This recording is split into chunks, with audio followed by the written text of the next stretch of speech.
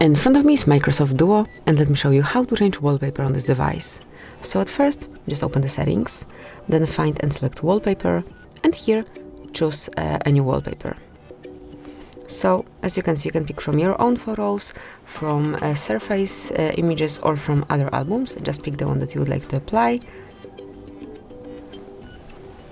And if you would like to cover your screen with this particular picture, tap on next and then click on apply.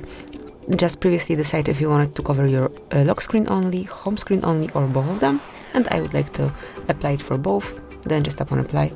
And as you can see from now on, this brand new wallpaper is covering both your home and also lock screen. And this is it, that would be all. Thank you for watching. Please subscribe our channel and leave the thumbs up.